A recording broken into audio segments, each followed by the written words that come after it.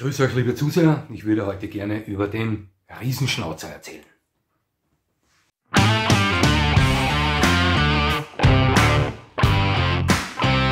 Nochmal herzlichst willkommen, liebe Zuseher. Heute würde ich gerne über den schwarzen Ritter, über den für mich besten Schutzhund der Welt, über den Riesenschnauzer sprechen. Ja, es ist bekannt, dass früher Begleithunde eher ein Privileg der Oberschicht waren. Ja, und die Hunde, die der niederen Gesellschaftsschicht angehörten, alle, hatten allesamt irgendeine Aufgabe. Man sah damals speziell bei diesen Leuten weniger aufs Aussehen, man ging eher auf die Gebrauchstauglichkeit dieser Hunde und züchtete dementsprechend weiter. Und in, im frühen 19. Jahrhundert gab es in, in Bayern einen, einen Schlaghunde, der besonders beliebt war bei den Fuhrleuten und Stallknechten.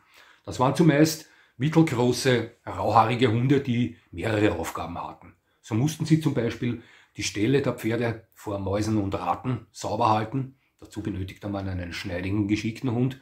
Sie mussten dazu fähig sein, mit den Fuhrleuten täglich mehrere Kilometer mühelos mithalten zu können, indem sie neben ihnen herliefen und während den Rasten äh, weiterhin ihren Aufgaben nachzusehen. Außerdem kann man sich vorstellen, dass diese Fuhrleute nicht unbedingt, äh, äh, sich unbedingt intensiv um die Versorgung dieser Hunde gekümmert hatten, über die Nahrungsversorgung gekümmert hatten. Somit brauchte man auch einen genügsamen Hund, der dazu fähig war, sich sein Fressen selbst zu suchen und sich auch seine Unterkunft für die Nacht selbst zu suchen. Ja.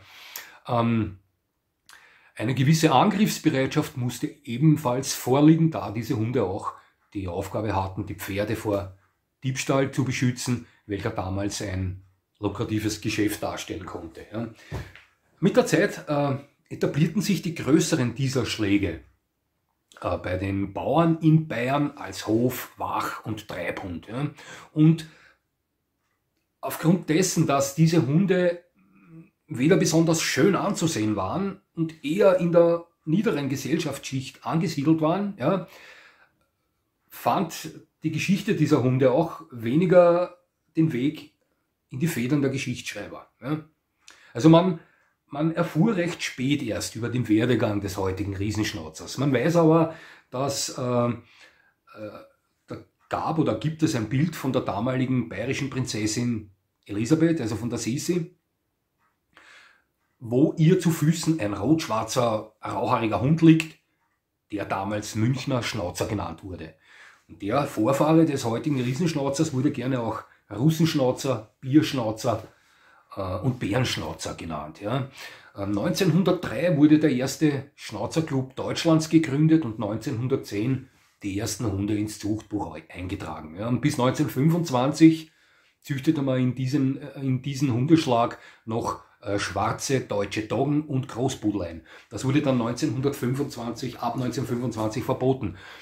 Ähm, diese Hunde waren allesamt oder zumeist schwarz. Ja? Und um auch graue Hunde mit, Be mit dem Begriff Salz und Pfeffer, so nennt man diesen Grauton, zu erreichen, ja, äh, züchtete man mit Mittelschnauzern herum, welche diese Farbe, diese Salz- und Pfefferfarbe oftmals aufwiesen. Ja. Also die kreuzte man auch ein in die heutigen Riesenschnauzer, um diese Farbe Salz und Pfeffer zu erreichen.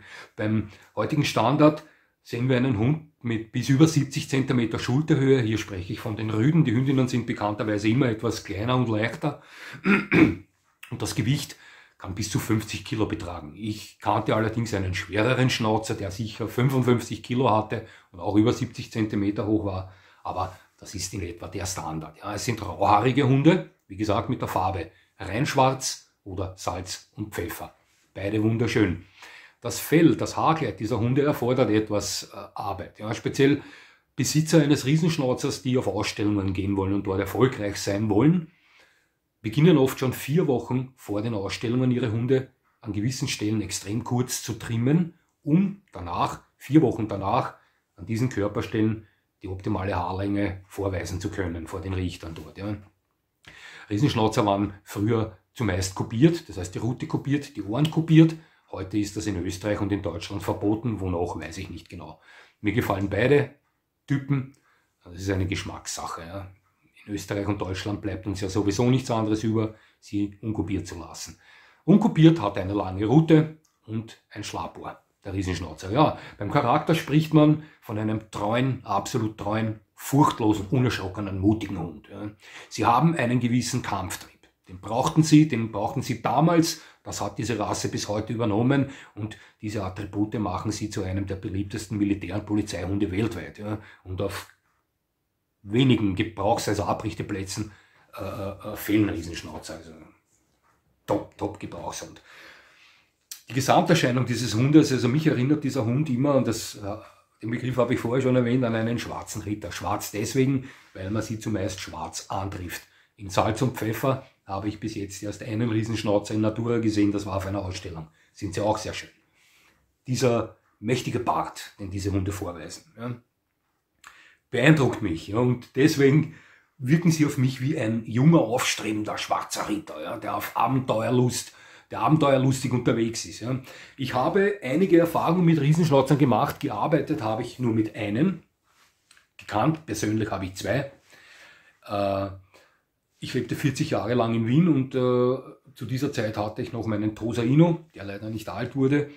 Und da war er so fünf, sechs Monate alt. Da traf ich des Öfteren einen Herrn mit einem zehn Monate alten Riesenschnauzerrüden in Schwarz, kopiert, äh, in einer Hundefreilaufzone. Und aufgefallen ist mir damals bei diesem Hund extrem, dass dieser Hund mit zehn Monate ja, andere, etwa gleich große Hunde, aber erwachsene Hunde im Kampfspiel alle dominierte. Ja, mit zehn Monaten.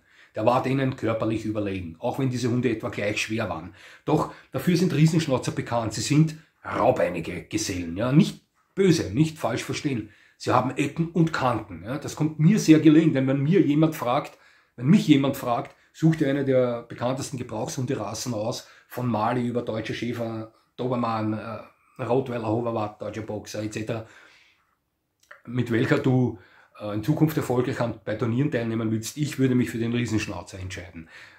Äh, er, er würde mir am ersten liegen. Ich mag Hunde mit Ecken und Kanten und der Riesenschnauzer ist ein Hund mit Ecken und Kanten. Ein raubeiniger Geselle, doch herrlich zum Arbeiten am Platz. Ja? Und auch die Hündinnen können recht raubeinig sein. Man sagt ihm nach, er ist ein, ein Einmannhund. Diesen Begriff habe ich schon einmal erklärt. Ähm, als Einmannhund gilt äh, übrigens auch ein Dobermann und ein, ein Rottweiler. Und oftmals werden äh, Schnauzer als die rauhaarige Ausführung der Pinscher bezeichnet. Sie haben ein Verwandtschaftsverhältnis zueinander, ja, aber immer wenn ich Schnauzer und Pinscher miteinander vergleiche, für mich hinkt der Vergleich. Man sagt, die Schnauzer sind die rauhaarigen Pinscher und die Pinscher sind die glatthaarigen Schnauzer. Ja, aber wenn ich näher nehme einen Zwergschnauzer und einen Zwergpinscher oder einen Mittelschnauzer und einen deutschen Pinscher, und einen Riesenschnauzer und einen Dobermann, der früher Dobermann Pinscher hieß, ja, wirken die Schnauzer auf mich alle kantiger, kerniger, ja, rauer. Na, na, die Pinscher, die haben einen Schliff, die haben einen anständigen Schliff, ja, aber dennoch wirken die Schnauzer alle kerniger und rauer auf mich. Nicht, ich glaube nicht, dass mich da nur das Optische täuscht, sondern auch vom Wesen her. Ja. Sie, sie haben einen anderen Bewegungsablauf als die, die Pinscher sie wirken rauer. Ja. Und ein ganz besonderes Erlebnis hatte ich mit einem Rüden, eines unserer Mitglieder vom Abrichterplatz meines Vaters. Das war in den frühen 90er Jahren. Bei uns war es gang und gäbe, dass nach dem Kurs die Leute nicht schnurstracks nach Hause gingen, sondern die blieben meistens noch auf Speis und Trank sitzen. Da konnte es auch später werden. Doch eines Tages äh, waren nur mehr mein Vater, eben der Besitzer dieses Riesenschnauzers von Xanto und ich da. Ja, und es entwickelte sich ein, ein interessantes Gespräch über die Schutzarbeit etc. Und äh, der Franz, der Franz, der Besitzer dieses Riesenschnauzers, meinte zu meinem Vater damals, ob er glaubt, dass Xanto ihm auch im Ernstfall beschützen würde oder ob er nur perfekt bei der Schutzarbeit am Abrichteplatz ist. Ja. Hunde können hier sehr gut unterscheiden, ja, ob sie also die kennen auch den Ablauf der Schutzarbeit. Ja, ist, Schutzarbeit selbst ist ein sehr komplexer Ablauf. Da geht es nicht nur so beißen, auslassen, sondern da werden, es ist eine sehr komplexe Arbeit, die in verschiedenen Abschnitten äh, vollführt wird. Ja. Aber trotzdem, die Hunde kennen den Ablauf. Und wenn es zur Schutzarbeit am Hundeplatz kam, noch bevor die mich, den Schutzhelfer sahen, irgendwo wussten die genau, jetzt kommt die Schutzarbeit und ich weiß genau, was jetzt wie passiert. Und deswegen kann man hier oft äh, nicht sagen, wenn ein Hund am Abrichteplatz ein perfekter Schutzhund ist, ob er äh, den Schutztrieb auch in die Praxis umsetzt im Ernstfall. Das weiß man nicht. Das sind zweierlei Paar Schuh. Äh, da könnte man ein eigenes Thema bringen von wegen, macht Schutzarbeit scharf oder macht die Schutzarbeit einen Hund zum Beißer. Die Schutzarbeit hat mit, mit der Praxis draußen eigentlich überhaupt nichts zu tun. Das ist ein reiner Sport und als den sieht der Hund ihn zu 99,9 Prozent auch.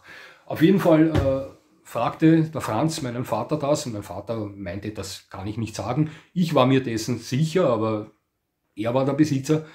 Und er kam mir dann irgendwann mit dem Vorschlag oder er bat mich, ob ich nicht so nett wäre, äh, mich hinter die Schutzwand zu stellen. Haben wir so einen Durchguck, da kann ich durchsehen, da sehe ich, wann der Hundebesitzer anmarschiert mit seinem Hund, nur mit dem gummierten Schlagstock bewaffnet der wird bei der Schutzarbeit verwendet, den Hund hinten auf die Gruppe zu schlagen, aber der ist ganz leicht, ja, der macht nur ein bisschen einen Wirbel, völlig schmerzlos für den Hund, kann sich jeder davon selbst überzeugen.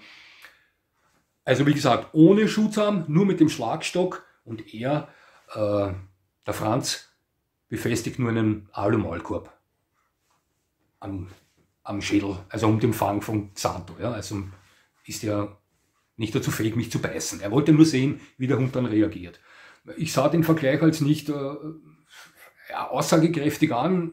Warum erzähle ich gleich nachher, aber ich willigte ein, ich war so dumm.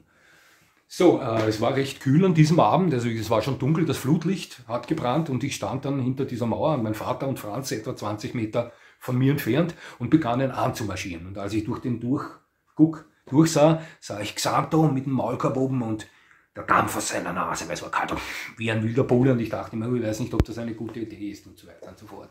Und sie waren etwa einen, einen Meter, war der Franz mit einem Riesenschnauzer vor der Wand und ich sprang nach vor und mit, mit Gebrüll oh, griff ich Franz an und sah nur meinen Blitz.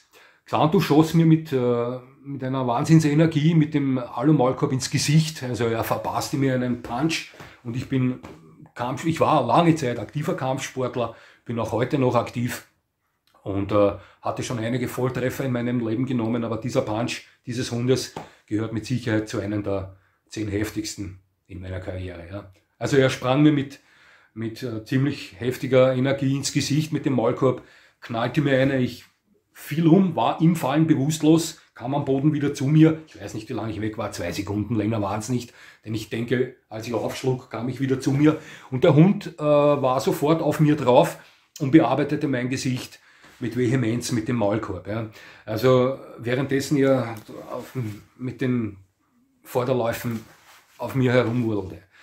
Ja, mein Vater und der Besitzer von Xanto entfernten den Hund zum Glück von mir und äh, sicherten ihn. Ja, ich, ich, stand dann etwas benommen auf und wir diskutierten herum, dass das eine blöde Idee war. Und das Resultat, Resultat von dem Ganzen war ein recht geschwollenes Auge, ein wackeliger Zahn, Abschürfungen im Gesicht, äh, auf der Brust abgeschürft und äh, ein zerrissenes T-Shirt. Ja. Und wie gesagt, die Erkenntnis, so einen Blödsinn nicht mehr zu machen. Ich wollte nur sagen, die Energie und die Power dieses Hundes war so gewaltig. Und äh, dieses Erlebnis hat mich gelehrt, bis heute davon überzeugt, auch vor Hunden Respekt zu haben, welche einen Maulkorb tragen. Und ich sage Ihnen Folgendes, dieser Hund hatte vielleicht 55 Kilo, aber unterschätzen Sie das niemals. Ähm, ich stand schon äh, sehr oft im Ring und hatte schon sehr oft gute Gegner vor mir und ich weiß, wie das mit dem Gewichtsunterschied ist. Ja. Ich habe knappe 100 Kilo und wenn, wenn Sie jetzt denken, äh, ein, ein 100 Kilo Mensch äh, kann einen 55 Kilo Gegner vielleicht auf die leichte Schulter nehmen. Man sollte man auch nie tun, ja, aber ich sage, sehen Sie das bei einem Hund nie so. Ein 55, die, die Power, die Energie, die ein Hund, ein 55 Kilo schwerer Hund und auch viel leichterer Hund entwickeln kann, ist nicht zu vergleichen mit der, mit der Energie eines gleich schweren Menschen. Ja, also da steckt völlig andere Power dahinter. Es fühlte sich für mich an, als Xanto mir eine anschoss, ja, als würde mich eine Abrissbirne treffen. Ich war chancenlos, trotz dass der Hund einen Maulkorb trug. Als ich am Boden aufschlug, war der Hund auf mir drauf und ich, ich war chancenlos. Wären die beiden nicht gewesen, weiß ich nicht, wie weit das gegangen war. Irgendwann hätte er von mir abgelassen, aber ich wäre sicher ja, mehr oder weniger schwer verletzt gewesen. Also es wäre wahrscheinlich nicht nur bei einem geschwollenen Auge und einem wackeligen Zahn geblieben. Ja, aber wie gesagt, dieser Vergleich hinkte und äh, ich sagte Franz damals, normalerweise musst du so etwas auf eine andere Art und Weise testen. Machte ihm auch ein paar Vorschläge, wie man das normalerweise testet. Also mit einem Unterzieher, einen Schutzarm unterm Privatgewand, den hatten wir damals nicht am Abrichterplatz und irgendwo anders als am Hundeabrichterplatz, wo der Hund diesen Vorgang nicht erwartet. Ja, dann kann man so einen Test starten, aber nicht am Abrichterplatz, wo der Hund schon genau weiß, was los ist. Und äh, ja, ist wurscht, das ist halt schief gegangen, es war mir eine Lehre und sollten mein Vater und der Franz dieses Video jetzt sehen, werden sie vielleicht schmunzeln. Mir war damals nicht mehr danach. Ich wollte nur sagen, äh, äh, Riesenschnauzer Wahnsinn. Ja? Und äh, ich bin noch heute davon überzeugt, dass der Xanto sein Härchen auch im Ernstfall beschützt hätte. Mein Fazit zu diesem Hund, ja, was soll ich sagen? Einer der besten Gebrauchshunde auf der ganzen Welt. Für mich der beste Schutzhund auf der Welt. Ich habe damals dieses Video gebracht mit den für mich zehn besten Schutzhunden auf der ganzen Welt. Habe es mir nicht leicht gemacht, da sich diese Hunde wirklich nur Millimeter voneinander entscheiden. Und hier geht es wirklich nur um Millimeter. Wir haben über 400 anerkannte, offiziell anerkannte Hunderassen und hier 10 beste Schutzhunde rauszusuchen, ist fast ein Ding der Unmöglichkeit. Weil Hunde Individuen sind und es kann, kann sich ein, ein Hund mit 25 Kilo herauskristallisieren weltweit irgendwo, der alle anderen Hunde in, in diesem Thema schlagen würde. Ja. Aber ich sage mal im Cross gesehen, wenn du alles mitnimmst, die tiefe Stimme, wenn du die Power, die Optik mitnimmst, die Power, die Geschwindigkeit, das Gewicht, das Wesen. Und wenn du das alles in einen Topf schmeißt und dann umrührst und dir ansiehst, wie das im Vergleich zu anderen Hunden aussieht, aus diesem Grund hat der Riesenschnauzer für mich bei diesem Video den Vergleich gewonnen und den ersten Platz belegt als besten Schutzhund auf der ganzen Welt. Bin ich auch jetzt noch fest davon überzeugt und kann nur sagen, für wem ist dieser Hund geeignet? Ich äh, äh, bin der festen Überzeugung, dass der Riesenschnauzer nicht geeignet ist für absolute Hundeanfänger, weil er geistig und körperlich zu stark ist. Der Riesenschnauzer ist zu stark. Ja. Er hat zu viele Ellbogen. Hündin an Rüden, das sind Hunde mit Ellbogen. Ja. Sie, sie sind absolut super Familienhunde. Doch, man sollte schon Ahnung haben, wenn man sich einen Riesenschnauzer besorgt. Das sind sehr starke Hunde im Kopf und körperlich sowieso. Ja. Für hundeerfahrene Hunde, äh, hundeerfahrene Menschen, Entschuldigung, eventuell welche schon einmal auf dem äh, Abrichteplatz waren und äh, jetzt Jahren von Abstinenz des Abrichteplatz ja, wieder damit liebäugeln und sich denken, sich einen Gebrauchshund zuzulegen und noch nicht sicher sind, welchen Hund sie sich nehmen sollten. Ja. Ich kann einen Riesenschnauzer nur empfehlen. Der Hund ist für einen Abrichteplatz perfekt. Ja. Perfekt. Und diesen Hund muss man immer erst einmal schlagen. Ja. Egal, ob beim bei der Unterordnung, bei der Schutzarbeit oder bei der Fährtenarbeit. Ein Traumhund, aber wie gesagt, ein Hund mit Ecken und Kanten. Ein Einmannhund, aber ein Hund, auf den man sich mit Sicherheit sein ganzes Leben verlassen kann. Außerdem ist er wunderschön. Ja. Das ist mein Fazit zum Riesenschnauzer. Ja. Viel mehr kann ich zu diesem herrlichen Hund eigentlich nicht mehr sagen. Also möchte ich mich herzlichst für Ihr Zusehen bedanken. Ich würde mich freuen, wenn Sie mir weiterhin zusehen und vielleicht meinen Kanal abonnieren. Und ja, das war's eigentlich schon wieder. Na, der Riesenschnauzer ist immer eine Wahl. Jetzt war's es.